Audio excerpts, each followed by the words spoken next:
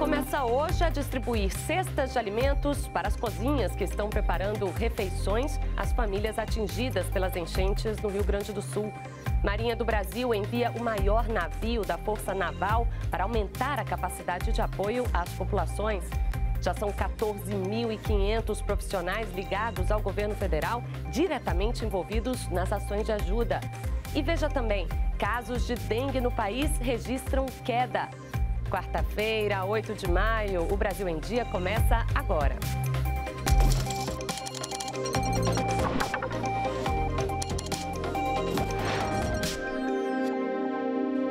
Olá, muito bom dia, seja bem-vindo ao canal Gov. Lembrando que você pode nos acompanhar também ao vivo pelas redes sociais. Mais ajuda vai chegar ao Rio Grande do Sul. O navio Aeródromo Multipropósito Atlântico vai sair hoje do Rio de Janeiro, da base naval do Rio de Janeiro, rumo à cidade de Rio Grande, no litoral gaúcho. É a maior embarcação de guerra da América Latina. O multipropósito Atlântico tem 200 metros de comprimento e pode transportar até 1.400 militares e 18 aeronaves. Em 2023, esse mesmo navio foi enviado para São Sebastião para ajudar no socorro às vítimas da tragédia que devastou o litoral norte de São Paulo. O navio tem capacidade de produzir água potável. É composto também por um centro médico. A previsão é que ele chegue à região do município de Rio Grande em três dias. E olha, as equipes de resgate têm trabalhado dia e noite, enfrentando muitos desafios para ajudar os gaúchos que perderam tudo nessa enchente. Além dos resgates e da garantia de segurança para a população do Rio Grande do Sul, uma das principais preocupações do governo federal é apoiar o Estado com água e comida. Por isso, a Conab, a Companhia Nacional de Abastecimento, começa hoje a distribuição de cestas de alimentos para as cozinhas que estão preparando refeições para as famílias atingidas pelas enchentes. E é sobre isso que vamos conversar agora com o presidente da Conab, Edgar Preto, que está lá no Rio Grande do Sul e fala com a gente direto do escritório do governo federal em Porto Alegre. Bom dia, presidente. Obrigado por falar com a gente nesse momento tão delicado. Bom dia, Vanessa. Bom dia a todos os telespectadores. Para nós também é muito importante manter essa comunicação para que o Brasil saiba todas as ações e principalmente o drama que essas milhares e milhares de famílias do povo gaúcho que estão passando nesse momento. Presidente, eu queria que o senhor falasse primeiro dessa, dessa entrega, dessa primeira entrega que ocorre hoje, que está sendo feita. Qual é a quantidade de alimentos que a Conab já está conseguindo disponibilizar e quantas pessoas devem ser atendidas com essa doação? Bom, nós estamos nessa ação trabalhando em parceria com o MDS, Ministério do Desenvolvimento Social. Na semana passada já foi feito o empenho para a empresa fornecedora das cestas de alimentos. Nós adquirimos as primeiras 52 mil cestas que estão chegando aqui no depósito, na unidade armazenadora da Conab, que fica localizada aqui na região metropolitana de Porto Alegre, no município de Canoas. Ali é o depósito central mas simultaneamente, Vanessa e telespectadores, esses alimentos estão sendo carregados em outros veículos e agora de manhã já estão fazendo a distribuição para as cozinhas solidárias, como você disse, onde estão abrigadas pessoas que estão fora das suas casas. Estamos falando de 49 mil pessoas que estão vivendo nesses abrigos, abrigos com 200, com 500, com 1.000, até 1.500 pessoas convivendo no mesmo local fora das suas casas. É uma grande rede de solidariedade que está montada aqui no Rio Grande do Sul. As cozinhas solidárias, basicamente atendida pela sociedade civil, é algo impressionante. Mesmo pessoas que passam por dificuldades, que estão sem água, que estão sem energia elétrica nas suas casas, encontram tempo para ajudar o próximo. Isso tem nos confortado muito, tem ajudado, tem nos dado ânimo a todas as equipes, a todo esse é, essa rede também composta pelo governo federal, com sinergia com o governo do estado, com as prefeituras, com os municípios. É muito potente a ação que estamos fazendo aqui. E a Conab, nessa parceria com o MDS, está então com a responsabilidade de garantir o abastecimento. Nessas primeiras 52 mil cestas que estão chegando na Conab, nós podemos, temos condições de garantir o abastecimento para 250 mil pessoas para os próximos 15 dias. Mas nós também já estamos providenciando a aquisição de mais 45 mil cestas de alimentos. Então, estamos falando de 47 mil cestas de alimentos, mas eu quero também fazer das minhas as palavras que o presidente Lula tem dito, tem nos orientado. O limite da nossa ação é o limite da necessidade. A alimentação faz parte de itens básicos para a população. Isso não pode faltar. Então, nós vamos utilizar toda a nossa força, toda a estrutura que está montada aqui trabalhando no resgate ainda das pessoas, parte delas, na necessidade, será utilizado para abastecer as regiões, mesmo que distante aqui da região metropolitana e da capital. Então, como o senhor disse, não tem prazo, né? A intenção da Conab é continuar esse envio, porque até conseguir fazer a reconstrução das cidades, o restabelecimento de tudo, isso leva dias, semanas, né, presidente? Sem dúvida nenhuma. 49 mil pessoas que estão nos abrigos, mas são 160 mil pessoas que estão desalojadas, que estão fora das suas casas, vivendo em condições adversas. Então, claro, toda a nossa ação prioritária é para o atendimento dessas pessoas que estão mais vulneráveis neste momento. Mas em parceria com os municípios, Vanessa, nós estamos também toda uma organização que estamos montando aqui no escritório do uh, governo, disponibilizando inclusive orientação para as, pre as prefeituras, fazendo contato com elas para que nos faça chegar a demanda necessária que nós vamos atender. Eu repito, nenhuma família, nenhuma pessoa aqui no Rio Grande do Sul, por esta ação, por toda essa rede montada, é, vai passar necessidade de alimentação. Além da CONAB, do MDS, toda a estrutura do governo federal, das Forças Armadas, da Defesa Civil, como eu disse e repito, nós contamos muito aqui com a solidariedade no Rio Grande do Sul, mas como vocês estão percebendo, tem uma grande rede solidária também no Brasil, voltada aqui para o nosso Rio Grande do Sul. Pois é, as doações estão vindo de todo o país, a gente tem acompanhado isso. O que, que o senhor é, pode dizer para o telespectador que está nos acompanhando? O que, que as pessoas estão mais precisando agora? É água? O que mais, presidente? Além da alimentação, é água, são kits de é, higiene, limpeza.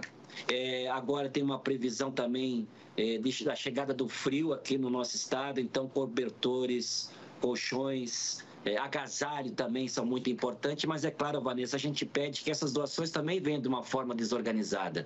Aqui nós temos muita dificuldade de pessoas também para fazer a separação. É, que as pessoas que têm a intenção de fazer essas doações, especialmente de agasalho, de colchões, é, cobertas, cobertores, que faça de uma forma organizada, organizar os kits, para que a gente possa também fazer chegar até as pessoas com mais rapidez. Itens básicos para um ser humano, para uma pessoa, são necessários aqui no Rio Grande do Sul. Presidente, ontem o presidente Lula ele demonstrou preocupação com a elevação, uma possível elevação do preço do arroz, né? Já que a safra no Rio Grande do Sul, no sul do país, foi muito prejudicada com as chuvas. E o ministro da Agricultura, Carlos Fávaro, anunciou a compra de cerca de um milhão de toneladas para não permitir uma especulação nos preços. Como que a Conab vai ajudar nessa medida, presidente? Vanessa, o presidente Lula acompanha pessoalmente toda a situação do Rio Grande do Sul, mas dá uma atenção muito especial na questão do preço dos alimentos, já que uma das suas prioridades é voltar, é combater a fome outra vez. 2014 o Brasil erradicou a fome. Infelizmente, quando o presidente retorna para o seu terceiro mandato, 33 milhões de brasileiros acordam e dormem com fome todos os dias. Então está nas suas prioridades dele e do seu governo. Dias atrás o presidente já nos convocou, eu e o ministro Carlos Fávaro, para conversar sobre a expectativa de produção agrícola no país, como é que estava o preço dos alimentos, e ele nos determinou que fizéssemos um estudo. E nos deu um prazo até o final do mês de abril para acompanhar o, o preço do arroz e do feijão especialmente porque são produtos base é, do povo brasileiro. É, o preço do arroz, infelizmente, mesmo nós estando quase no final da safra, não diminuiu o preço aos consumidores. E agora a situação aqui no Rio Grande do Sul, que é o estado responsável pela produção de 70% do arroz nacional, 15% dele, Vanessa, está embaixo d'água. Tem mais uma quantidade que estão nos armazéns em algumas regiões a água está nos armazéns, já não sabemos ainda dimensionar o tamanho dessas perdas. Então foi tomada esta decisão. Nós estamos trabalhando é, na montagem de uma medida provisória que vai autorizar a Conab fazer a importação de um milhão de toneladas de arroz. Mas é claro que nós não faremos isso tudo de uma vez só. Nós não podemos também competir com os produtores aqui do Rio Grande do Sul e nem a produção nacional. Nós temos todos um, todo um cuidado nessa questão, porque os produtores também nesse momento precisam ser amparados. Mas, claro, nós precisamos garantir o abastecimento em regiões que não são produtores. Então, esse arroz que nós pretendemos comprar, é, importar, ele não virá para o Rio Grande do Sul, ele não vem para a região sul, ele vai ser direcionado especialmente para o norte, para o nordeste, para o sudeste, que são regiões que não produzem e vamos direcioná-las, é, direcionar essa compra para abastecer os pequenos varejistas né, que se abastecem, que compram dos grandes atacarejos. Nós queremos justamente é, evitar especulação, evitar que os consumidores vão pagar um preço maior pelo produto em função dessa tragédia que há no Rio Grande do Sul. É o que a gente não espera, mas nós precisamos estar precavidos e é isso que o presidente Lula nos determinou. Dar autorização nesse primeiro momento nós temos intenção de fazer o um leilão para importar 200 mil toneladas, mas é óbvio que o tamanho também dessa compra, tendo essa autorização, vai ser também pela necessidade que nós teremos no Brasil para garantir um abastecimento. Muito trabalho pela frente. Eu conversei com Edgar Preto, ele que é presidente da Companhia Nacional de Abastecimento, a Conab, e está lá no Sul prestando esta ajuda humanitária diante do desastre causado pelas chuvas, pelas fortes chuvas. Muito obrigado pelos esclarecimentos e bom trabalho aí para vocês. Obrigado, um abraço a todos vocês também. Resgate de pessoas e animais domésticos, ajuda humanitária e financeira e congelamento de dívidas de produtores rurais estão entre as ações emergenciais tomadas pelo governo federal para minimizar os impactos da tragédia climática no Rio Grande do Sul uma união entre sociedade, terceiro setor e poder público para acelerar o auxílio aos desabrigados. Mas fake news atrapalham os esforços conjuntos pelo bem do Rio Grande do Sul. Acompanhe na reportagem de Graciele Bittencourt. Quando o pai da Bianca, de seis anos, pediu socorro ao Exército para resgatar a família da casa em Humaitá, na zona norte de Porto Alegre, a menina tinha uma preocupação como levar o Stick, o gatinho da família. Como é o nome do gato? Skit. Skit? E o Skit não tá assustado? Não, ela só tá curiosa. Tá curiosa, Skit? Hum. E ela tá se temendo. Nossa equipe conheceu a família em um dos pontos de resgate onde governo, equipes de salvamento e sociedade civil se uniram para acolher quem precisa de ajuda. Na hora que o pessoal precisa de acolhimento, né? O pessoal fica mais tranquilo quando tem alguém olhando e dando o mínimo de, de bah, estamos aqui. Tá, vocês estão passando isso, mas nós estamos aqui, estamos ajudando aqui da maneira que possível. Muito bom, muito bom mesmo. Tô, gostei dessa, dessa iniciativa do pessoal e continua assim. Tá ótimo. O gatinho Stick foi um dos cerca de 6 mil animais domésticos resgatados até agora. Alguns pets chegam feridos. Por isso, uma equipe de veterinários voluntários se organizou para ajudar.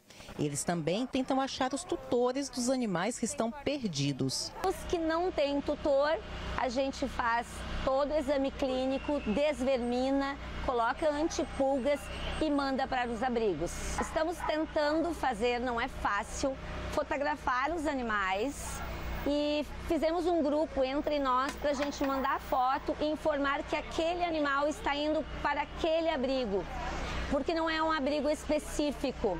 Depende do horário, a gente está entrando em contato com os abrigos e perguntando se podemos levar.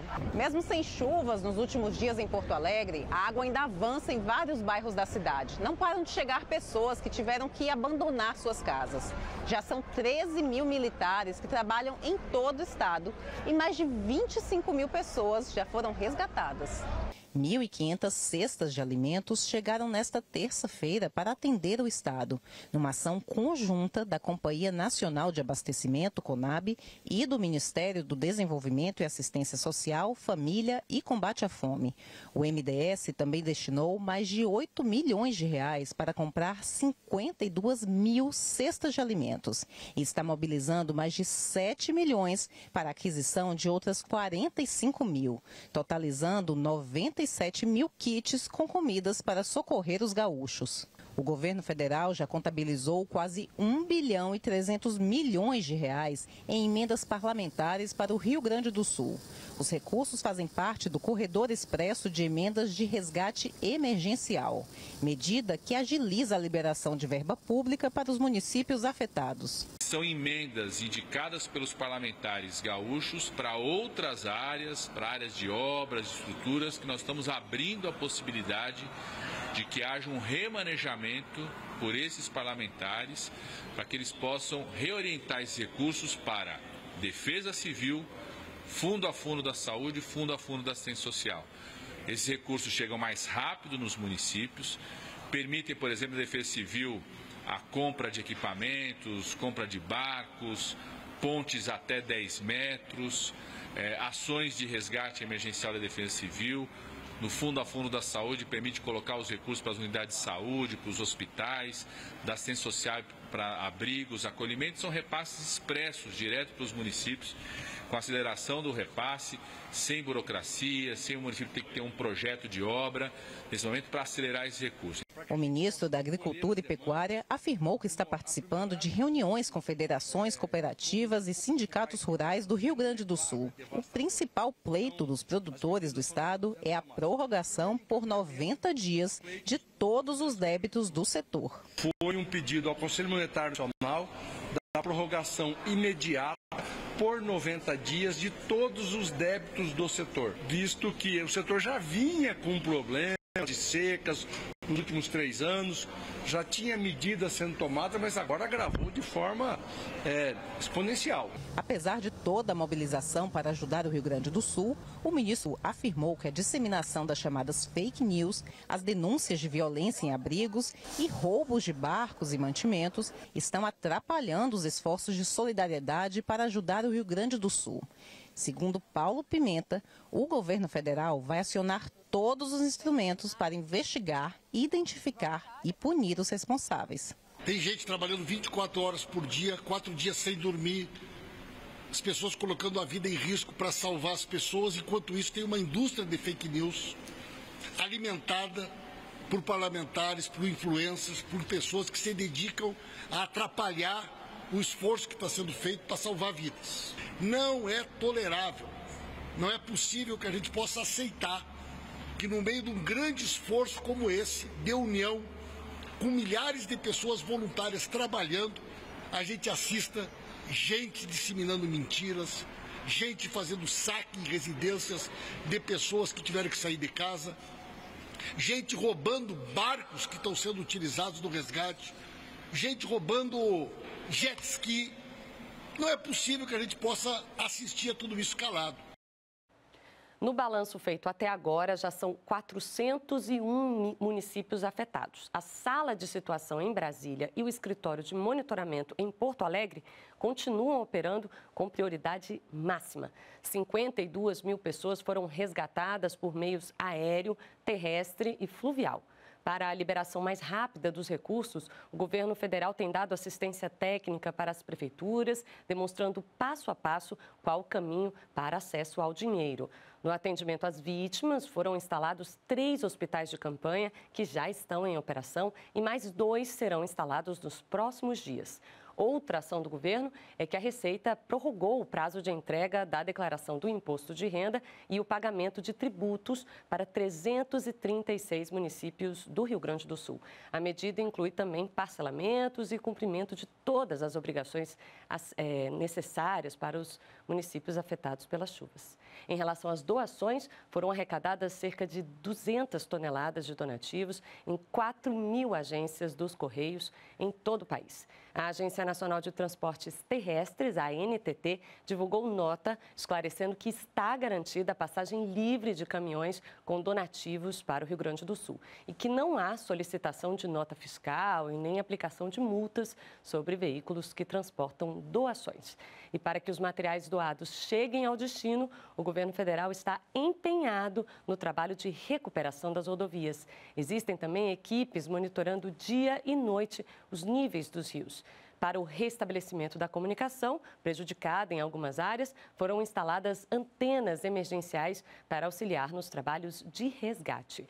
Em uma outra informação, o Disque 100 está disponível para receber denúncias de crianças e adolescentes desaparecidos ou separados dos pais. E para agilizar a chegada de ajuda ao Rio Grande do Sul, o ministro de Portos e Aeroportos falou sobre a proposta de operar em torno de sete aeroportos com 150 voos semanais para o estado. Quinta-feira já chegam cinco voos comerciais. É em Canoas, que vão no primeiro momento levar suprimentos à sociedade, medicamentos, alimentos, é um transporte de cargas. Na sexta-feira, cinco aviões vão lá, comerciais também, para a gente poder fazer a repatriação, para a gente poder trazer muitos turistas que ficaram lá presos que estavam fazendo turistas. A gente espera que eles voltem na sexta-feira para os seus destinos finais e a partir de segunda-feira a gente já espera que o aeroporto de Canoas volte a funcionar. A gente está trabalhando com a aeronáutica, tá, estamos trabalhando com o ministro José Múcio, com todos os envolvidos, para a gente efetivamente poder avançar na aviação do Estado e poder levar, sobretudo, a possibilidade da população se deslocar, tanto voltando para o Estado, como também regressando para outros estados do Brasil. O ministro de Portos e Aeroportos ainda destacou a importância do presidente Lula ter decretado o estado de calamidade no Rio Grande do Sul. A ação contribui para aproximar os poderes e já iniciar os trabalhos de reconstrução do estado. Todos os ministros já estão começando a levantar os danos que foram causados na educação, na saúde, nos portos, nos aeroportos, na infraestrutura de transporte através das nossas rodovias. Os ministros estão começando a fazer esse diagnóstico, ao lado também do governo do Rio Grande do Sul, para a partir daí a gente entender o tamanho eh, dos investimentos que serão precisos para a gente poder ajudar o estado do Rio Grande Grande do Sul. É uma prioridade do governo do presidente Lula e eu tenho visto que é uma prioridade de todas as instituições do Brasil. Veja a seguir, o presidente Lula divulga hoje resultados do novo PAC Seleções Cidades. O foco foram as áreas urbanas e regiões metropolitanas. E você vai ver que os casos de dengue caíram no país. A gente volta já já.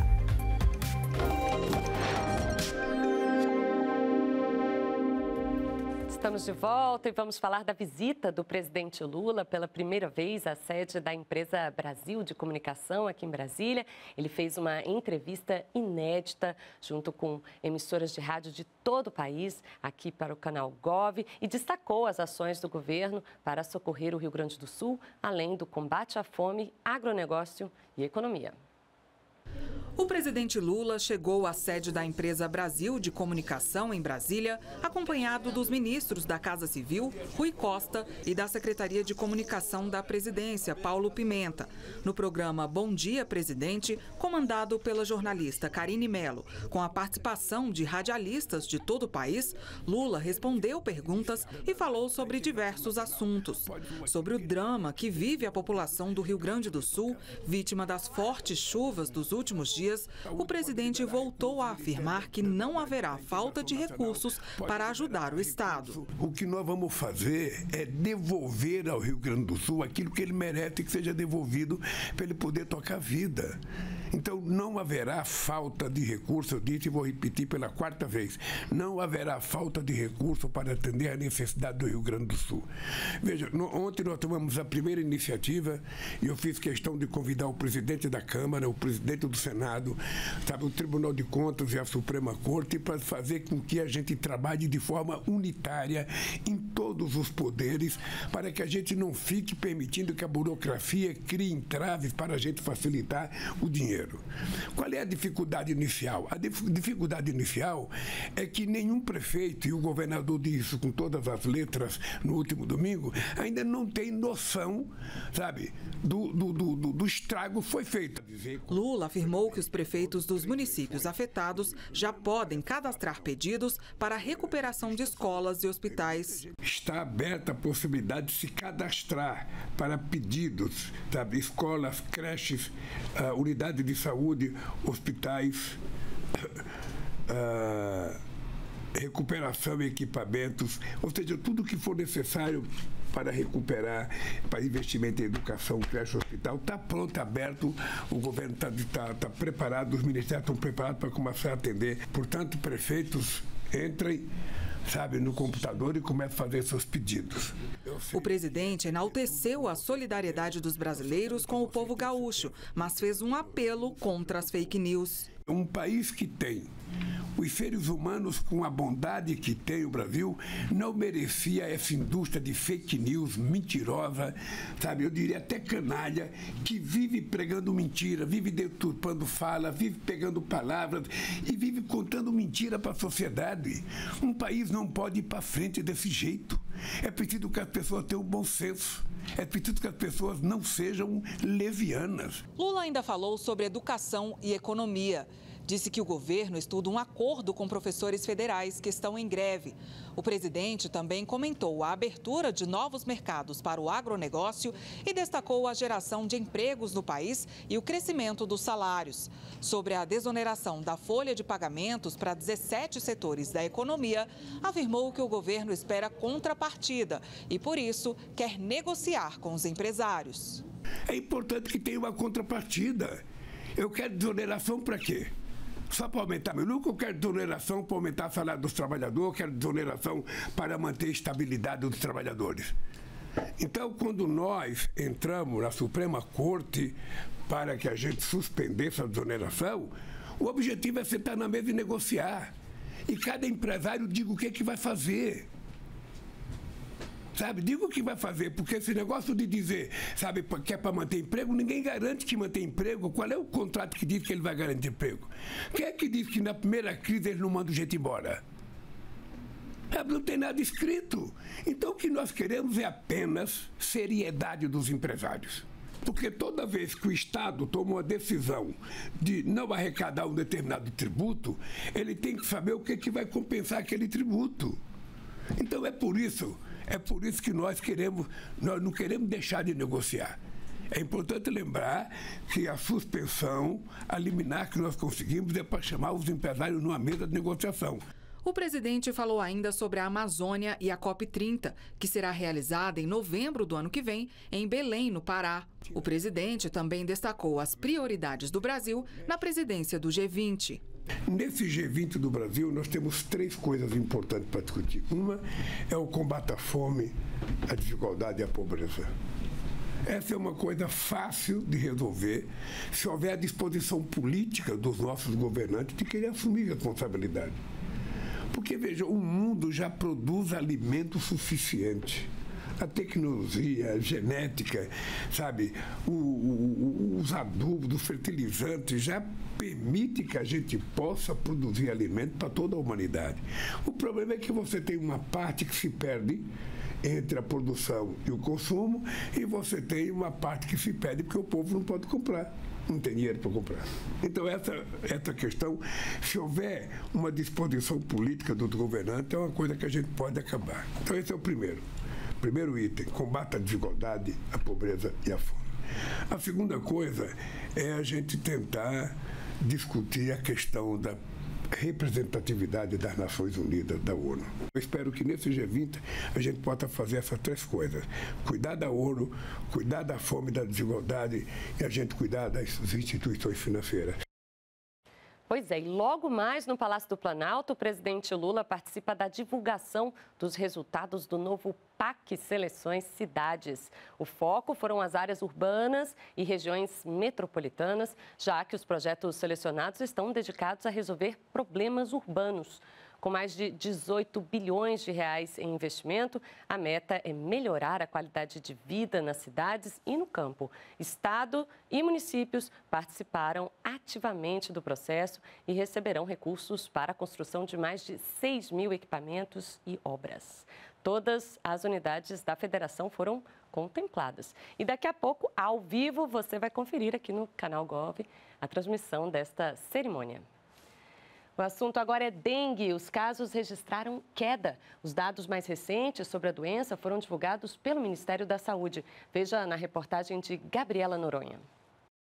21 estados brasileiros e o Distrito Federal apresentam tendência de queda no número de casos de dengue. Os dados foram atualizados nesta semana. Nós temos uma mudança importante, né? 22 estados estão com tendência de queda, então o mapa começa a ficar mais verde, né? Nós temos quatro estados com, com estabilidade ainda e nós temos um estado com tendência de aumento. Então, nesse momento no Brasil, apenas o Mato Grosso permanece com essa tendência de aumento. Então, é um cenário muito diferente né, do que estávamos nas semanas, nas semanas anteriores, principalmente na semana 13 e 14. Alguns municípios já começam a finalizar seus decretos de emergência, né? Então, agora a gente vai começar a ver né, esses decretos que vão sendo revogados pela situação epidemiológica que vai diminuindo em relação à dengue. Entre as unidades da federação que sinalizam queda estão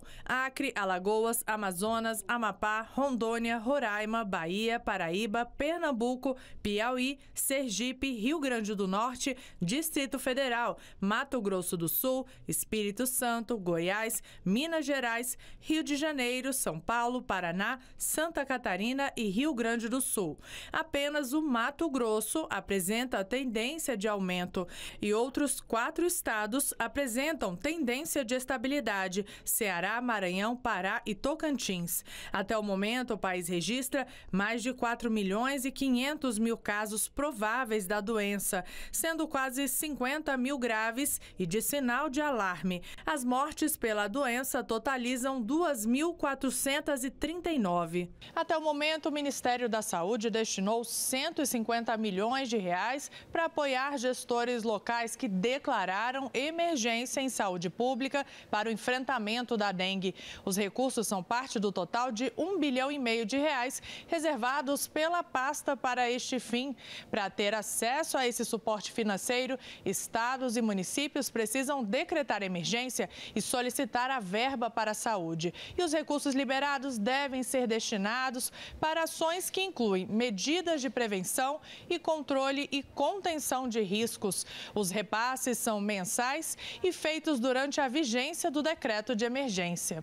O Ministério da Saúde destacou os esforços da pasta na busca da redução das mortes por dengue e outras arboviroses, como a distribuição de larvicidas. Continuamos enviando testes sorológicos, testes de biologia molecular, os larvicidas, né, tanto o, os adulticidas quanto os larvicidas que estão sendo enviados. Nós temos sempre ressaltado a importância da utilização de todos os, os, esses inseticidas em momentos diferentes, né? Os dados informados nesta terça-feira mostram ainda que mais de 2 milhões e 700 mil doses da vacina contra a dengue já foram distribuídas. Em abril, a terceira remessa do imunizante contemplou 686 municípios do país.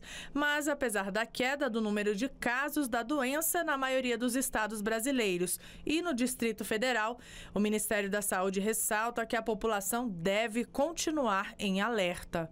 Passado o pico não quer dizer que a epidemia acabou. Muitos casos ainda vão acontecer até que a gente chegue ao final dessa epidemia. E olha, uma das prioridades do governo federal é garantir um sistema de saúde mais eficiente. E para isso, os serviços de atenção primária este ano vão receber um valor 28% maior que no ano passado, com um repasse previsto de 35 bilhões de reais. A meta é ampliar o atendimento nas unidades básicas de saúde. A repórter Fernanda Cruz tem as informações e fala com a gente ao vivo, direto de São Paulo. Bom dia, Fernanda. Bom dia, Vanessa, e a quem nos acompanha. Os investimentos do Ministério da Saúde, então, vão passar de 27 bilhões de reais para 35 bilhões de reais. Com isso, vai ser possível ampliar o horário de atendimento nas UBSs para até às 22 horas, valorizar o atendimento domiciliar e criar mais 9.500 novas equipes de saúde da família, bucal e multiprofissional. A meta é alcançar 80% da cobertura da atenção primária até 2020 2026, melhorar a qualidade do atendimento e ainda reduzir o tempo de espera. O governo federal quer levar essas equipes até as localidades mais distantes do Brasil, onde ainda não existe a assistência médica. E o governo já vinha ampliando o seu quadro de funcionários, foram contratados 7.300 novas equipes, além do investimento do programa Mais Médicos e do programa Brasil Sorridente. Assim, foi registrado um aumento de 16% das consultas médicas e de 29% nos procedimentos. Vanessa. Muito obrigada pelas informações e bom trabalho para você. Você conferiu aí as informações de Fernanda Cruz, direto de São Paulo. E a seguir, o governo federal anuncia 195 milhões de reais para a retomada de obras em 118 escolas indígenas e quilombolas. E um programa prevê que os estados troquem as dívidas com a União por maiores investimentos na educação. A gente volta em instantes.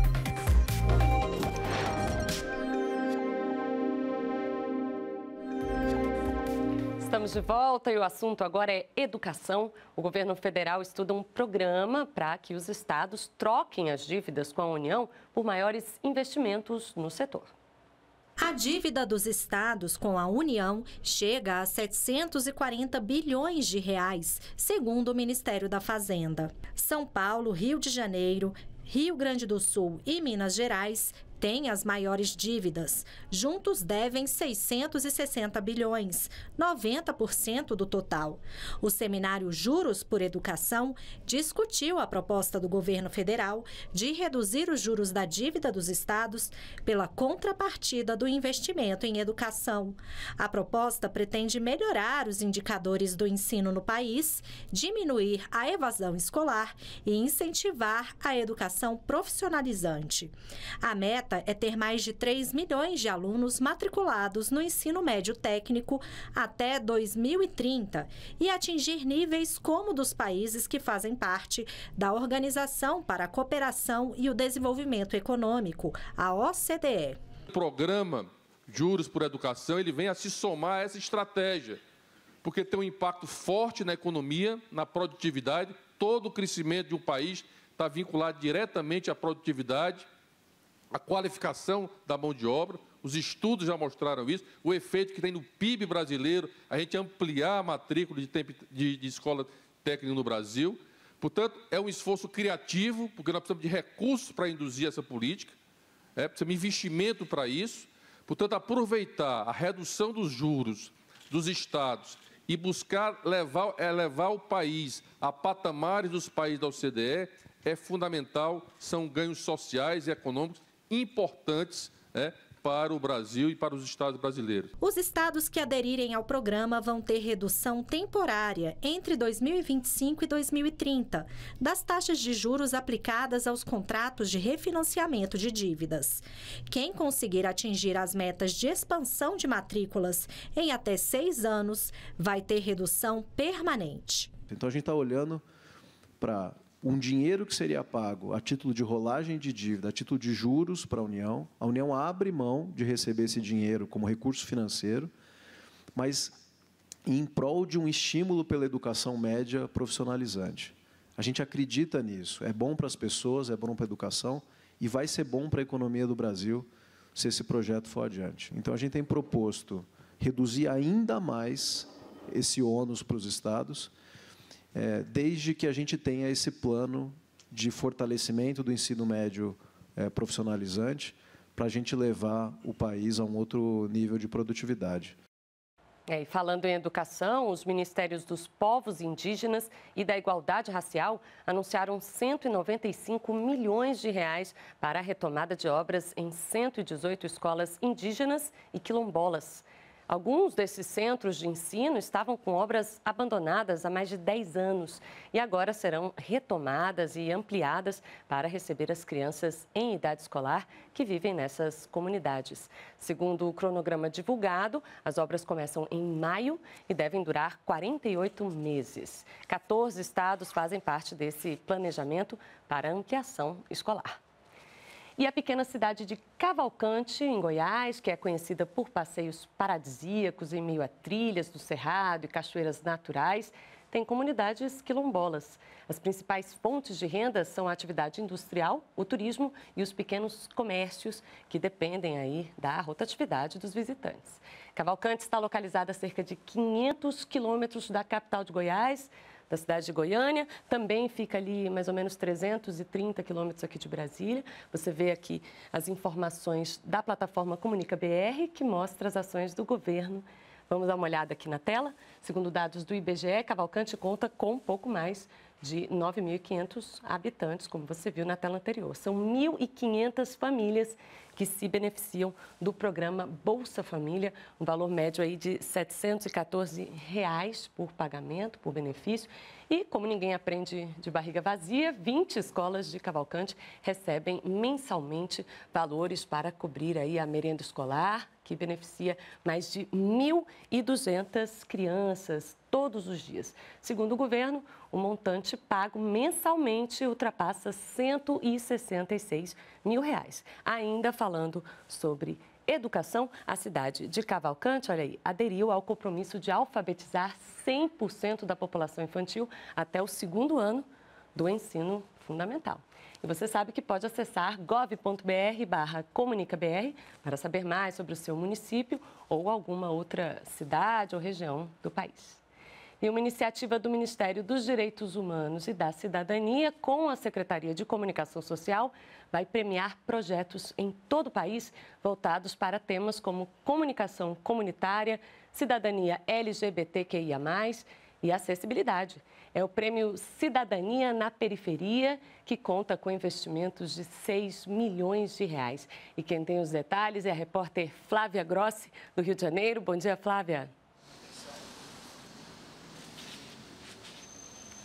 Oi, Vanessa, bom dia para você e para todos que nos acompanham. O governo federal já divulgou o resultado preliminar daqueles projetos inscritos que cumprem todas as exigências do edital e aí sim estão habilitados a participar do prêmio Cidadania na Periferia.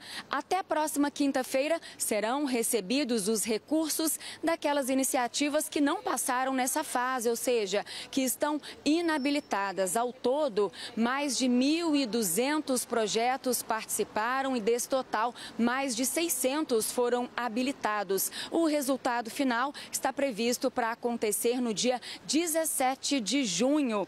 A gente lembra que 120 projetos é, no campo de direitos humanos serão premiados, cada um com 50 mil reais, totalizando aí um prêmio de 6 milhões de reais. Os critérios de avaliação incluem relevância social social, promoção da diversidade, inovação e parcerias. Vanessa, volto com você. Ok, Flávia, obrigada pelas informações. Bom trabalho para você. O Ministério dos Transportes lançou uma consulta pública para os setores ferroviário e rodoviário. A população poderá contribuir com sugestões através da plataforma Participa Brasil, de 8 de maio a 22 de junho. A intenção é aumentar o envolvimento social e ouvir os brasileiros sobre as prioridades de investimento, o que vai impactar diretamente nas tomadas de decisões para o setor. A meta é atrair investimentos, aumentar a eficácia e a segurança dos transportes no país. Desenvolvimento sustentável no campo. Durante dois dias, representantes de toda a cadeia produtiva da agricultura familiar vão discutir o setor com foco na sustentabilidade. A agroecologia é um modelo de agricultura alternativa baseada na integração e aplicação de conceitos sustentáveis na produção de alimentos e na segurança alimentar e nutricional. O modelo vem ganhando cada vez mais espaço na agricultura familiar do país. E o estado do Rio Grande do Sul desponta como exemplo de produção sustentável. Mas os desafios ainda são grandes para garantir que técnicas mais modernas cheguem ao pequeno agricultor. Os dados do nosso último censo, apenas 18% dos agricultores familiares declararam ter algum tipo de assistência técnica extensão rural. Então nós temos muito trabalho. Nós reconhecemos fortemente a importância da assistência técnica e extensão rural para que a agricultura familiar avance, dê um salto, cresça e, sobretudo, que a gente possa fazer avançar a agroecologia. E para debater a importância da agroecologia e a inclusão de novas práticas sustentáveis na política de assistência técnica e extensão rural, o Ministério do Desenvolvimento Agrário está realizando um seminário com cerca de 500 representantes de produtores, fornecedores e movimentos sociais, sociedade civil e organismos internacionais.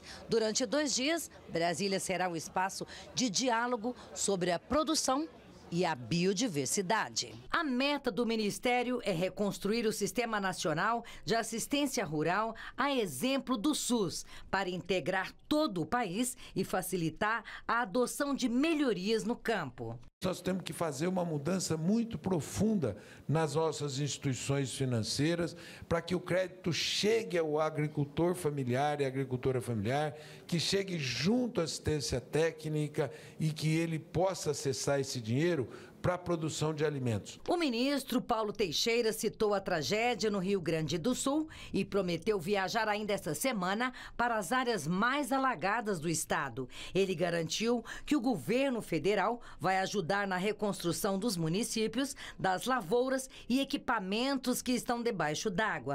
Tudo para que os agricultores gaúchos possam voltar a produzir. Para aparelhar a Emater do Rio Grande do Sul, para ela nos ajudar a enfrentar a reconstrução do Rio Grande do Sul e, ao mesmo tempo, ajudar os agricultores nas suas perdas para que eles possam continuar.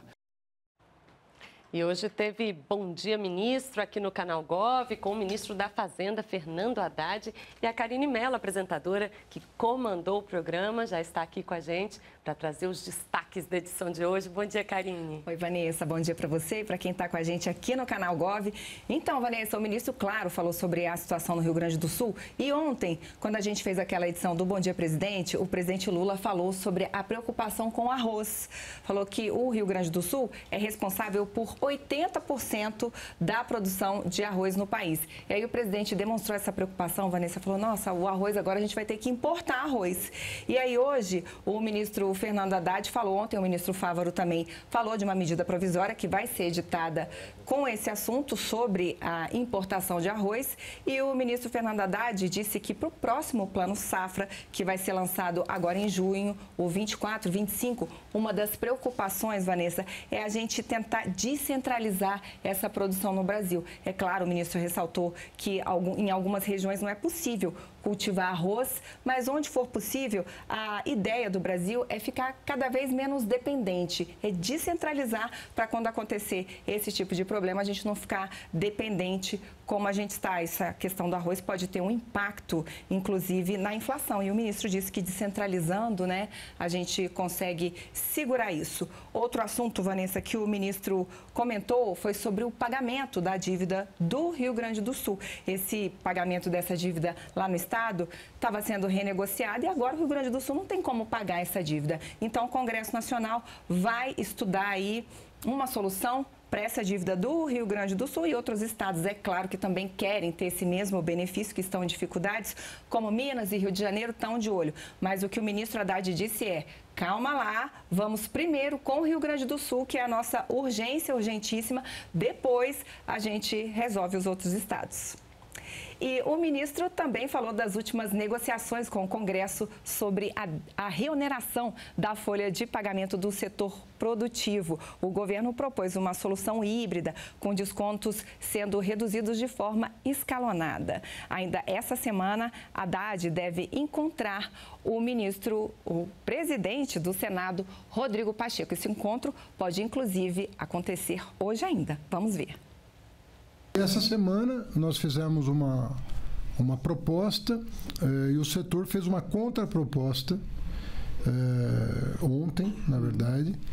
E eu então achei por bem, até por recomendação do presidente e, e pelas boas práticas políticas, achei por bem eh, pedir uma, uma reunião com o presidente Rodrigo Pacheco para que ele tomasse ciência do estado da arte da proposta que foi feita pela Fazenda, da contraproposta que foi feita pelos setores, que está em consonância com o que nós entendemos que pode ser um caminho de pacificação. Todo mundo vai ganhar com isso, porque a remuneração vai ser gradual, conforme nós tínhamos lá atrás anunciado, de que ia ser uma coisa gradual. É, daria tempo da Fazenda preparar, concluir a reforma sobre o consumo, né, do tributo sobre consumo, e passar a considerar a, as, as reformas adicionais Haddad também falou da importância da regulamentação da reforma tributária. Vamos ver. Nós estamos fazendo a maior reforma tributária da história do Brasil, começando pelos impostos sobre consumo, que vão cair, uhum. né? mas na sequência haverá a reforma da folha, de uma maneira geral, e da renda. Né? Então, todo o sistema tributário brasileiro está sendo revisto para o bem do país. O Brasil era dos estava entre os 10 piores sistemas tributários do mundo, segundo o Banco Mundial. Imagina você, tem 190 países avaliados, você está entre os 10 piores. O Brasil vai claramente chegar no pelotão da frente agora. É isso, então zeramos a semana, Vanessa. A gente teve ontem o presidente Lula, hoje o ministro da Fazenda, Fernando Haddad. E semana que vem a gente se vê. Pois semana que vem eu te espero, viu? Com Combinado. mais detalhes do Bom Dia Ministro. Combinado. E é isso, o Brasil em Dia fica por aqui, mas o canal Gov segue acompanhando todas as ações do governo federal, com eventos ao vivo, dicas e serviços para você, cidadão. Uma ótima quarta-feira e daqui a pouco você acompanha ao vivo aqui com a gente no canal Gov a participação do presidente Lula na divulgação dos resultados do novo PAC Seleções. Até já, tchauzinho.